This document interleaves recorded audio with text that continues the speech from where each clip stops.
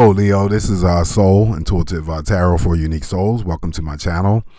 Uh, this is going to be your general weekly focus reading for the week of January 18th through the 24th, 2016.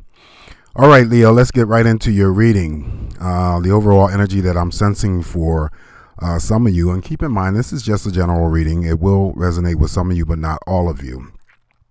But I do feel that the overall energy for some of you you may experience uh, some sort of uh, conflicting stuff, mental stress. We have the Ten of uh, Swords in the upright position. This is not really a good card to get energy wise.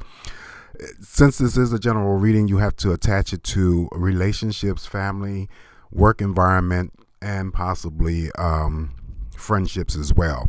But with this 10 coming in as the overall energy, there's the potential of dealing with not only some sort of mental conflicts and stress, uh, there's a possibility of being, um, you know, backstabbed. So apply that message to a relationship, your friendship, co someone from work, and someone possibly in the family. Now I'm getting um, air sign energies with this Ten of Swords. Uh, you know, Aquarius, Libra, Gemini. Some of you may be dealing with male or female. Uh, like I said before, there's a lot of uh, conflicting stuff, mental stress, and agility that you may experience during the week of uh, January 18th through the 24th. Also, too, because it is a 10, uh, the you know the good side, or at least the flip side to that conflicting and stress that I see impossible backstabbing by someone close to you. Uh, it's a clearing. Uh, the tens always represent uh, a clearing. So there's a closure of something, and then there's new energy. So I feel that some of you are going to endure it, conflicting stuff, but then it's an overcoming of that. And then once the conflict, um, you know, moves or moves away from you, then there's an opening of new energy.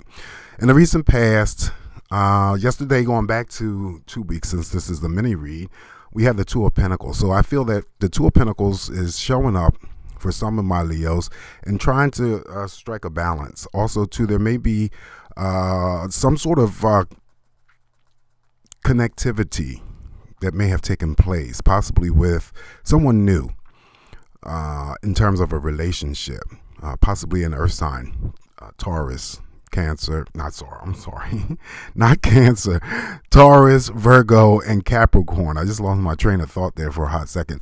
Uh, male or female energies. Also, too, I feel that um, in trying to achieve or strike a balance in any area of your life, whether it's a relationship, family, work, uh, I just feel that some of this has to do with being mindful of your spending and um, doing checks and balances with your your income.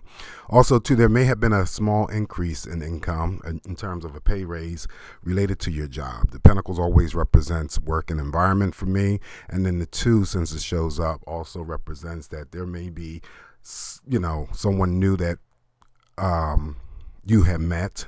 For the ones who were single and looking, and then also um, just trying to overall achieve some sort of balance and juggling, you know, possibly your schedules, work schedules, family life, whatever. Just trying to achieve some sort of balance. All right, so midweek we have the Three of Pentacles. Uh, three of Pentacles in the upright position. Okay, so this is um, definitely some of you with this Ten of Swords showing up, eh, you know, energy wise. I feel that some of this conflicting stuff may be related uh, specifically to work uh, since the Three of Pentacles shows up and it's in the upright. And also, too, the Three of Pentacles, any threes is all about some sort of uh, attachment to someone who's already attached. So there's a love triangulation going on, uh, possibly with some of you, and it may be someone from work. Uh, I get that it may be the conflicting stuff from the Ten of Swords, that may be an air sign uh, individual, and then also it may be a earth sign again since we have the two of pentacles uh, showing up next to it so and then I, I still see some sort of small increase of income related to work there's definitely an attraction that someone has either towards you and they are attached that you work with, or vice versa. I'm just getting a lot of energy from a work environment environment, excuse me, involving uh, some sort of uh, attraction, something going on. So I don't know what that is, but I'm just putting it out there. Anyway, tail end of the uh, week for you, Leo. We have oh, we have the three of swords. Okay, all right. So there's definitely some sort of situation going on. So there's a split separation heartache associated with uh, leaving a situation alone or an attraction.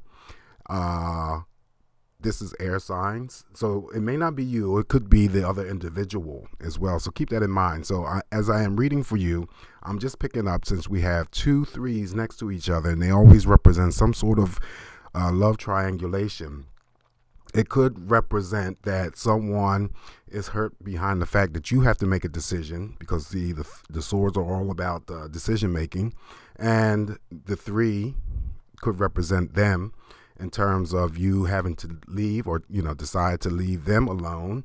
Um, and then there's some sort of heart heartache, loss, or you know separation. Uh, distance that creates some sort of mental stress as well. So, yeah, I'm just getting Leo Wow, this is Leo. Anyway, I'm getting for you, Leo, that there's some conflict and shit going on. Uh, for some of you, you may experience impossible backstabbing from someone uh, close to you. There's a love triangulation that's involving either uh, an attraction or some sort of physical stuff uh, with someone at work and there's a possibility of either you leaving a situation alone altogether or someone gets hurt behind you having to make a decision to leave them alone and they're um, not too pleased or happy about um, what you've decided in terms of that relationship. Okay, so this is a very interesting uh, week coming up for you, uh, Leo. But that's your reading, and the Oracle of E card that I have selected for you is um, Open Your Presence. Um, okay, let's see what that says. Open your presence for you, Leo, means or says. Ever seen a time lapse film of a flower blooming? Its petals opening wide. That's your new role model. Visualize yourself opening your arms wide embracing all the prosperity and abundance that's flowing your way.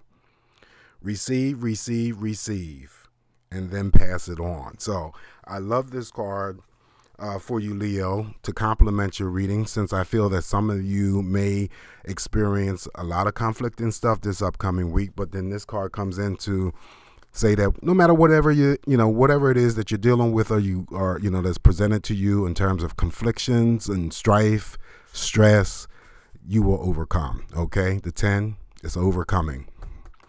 So uh, I like that card to resonate uh, to complement your reading, and I hope it resonates with uh, some of you. All right, so until the next time, this will be the last uh, weekly reading that I do for January, as I am preparing for the uh, love uh, readings for February Valentine's month. So until the next time, Leo.